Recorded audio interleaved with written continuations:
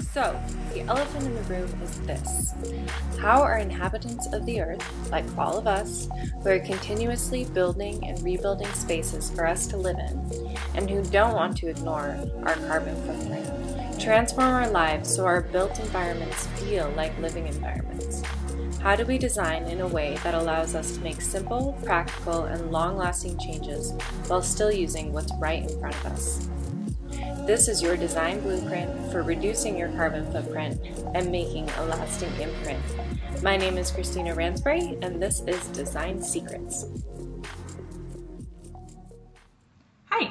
So this is going to be a really short video basically on how to frame a frame. So putting a frame on a wall or a piece of art or anything really. Um, it seems really simple, but um, a lot of people I, I find have a hard time with it, or they're they're putting like smaller pieces of art in a corner, or just oddly centered, um, or not centered rather. Um, so anyway, just gonna do a little drawing to just make it really simple um, for those of you who maybe have a hard time with that. Okay, so here we are at the Holy Notebook. And all right, so what I see a lot of people do is um, maybe I'll just do a little example up here. You have a wall, right? Maybe there's some furniture, you know, whatever. And uh, oh, you can't see that. There we go. Hmm. Yep. All right, so there's the wall. Someone will come in and they'll like, you know, do something here, here. They'll do like some small arrangement like this, and and that just looks really odd. Um, maybe some people like it, but overall, you know, if we're going for aesthetically pleasing um, spaces and just that are in balance, uh, let's just use a bedroom wall, for example. And you have a bed, maybe, and um, you know, sa- maybe same idea. Maybe you have a plant over here or something. Um, the idea is that the wall frames the wall. So if there was no furniture, you would basically do a center line down here and and then a center line across and then just put it on center. But because there's furniture involved, it's almost like you need to divide the space. So what would be centered here with the bed? Maybe the wall would be divided uh, in this kind of fashion. And then this would be the frame here, right? So then from there, you frame the frame, and it looks best when um, these, these are equal distances. You know, here to here, and here to here.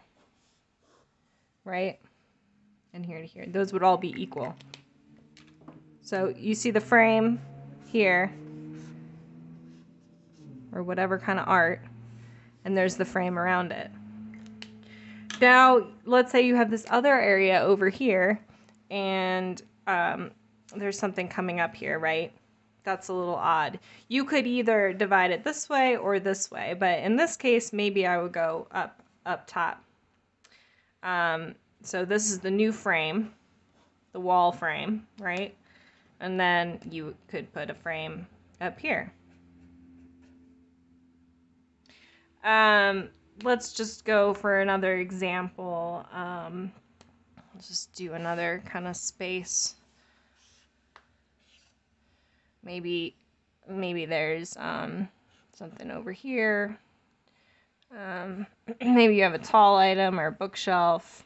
Maybe another smaller item over here. It's kind of odd, but maybe maybe people have this situation. So then over on this side, if you wanted to put something on the wall, you would frame in this space. There's your frame. And then inside, however, you could go any distance. You can make it small, you can make it big, could be a circle, could be anything. But this is the frame that you're working with. Same goes over here. Here's another frame. So your frame would go somewhere in here.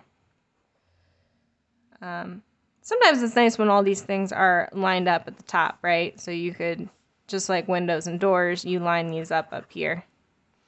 And then you would have equal distance all around. Um, and sometimes, you know, you don't have to do that, but, you know, you could, in this situation, Maybe you don't want it to go all the way up to the wall. You could cut that in half.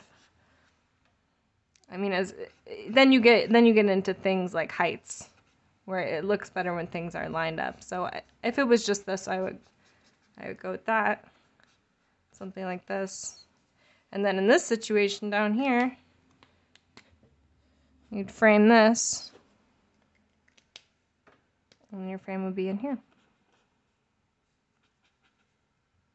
And this works for long spaces too. So, you know, if you had um, a thin wall and you wanted to put a mirror on it, um, you could just, you know, obviously run the mirror all the way top to the bottom, have this be the frame, but then there could also be maybe a bench down here. So maybe you're thinking in the future, and then here's your frame or your art. Okay, I hope that was really simple and fun. So thanks, guys. I hope that helped. And if you want any more advice or need a quick consult with me, you can go to my website down below and um, click into the uh, free consultation. Thank you, guys.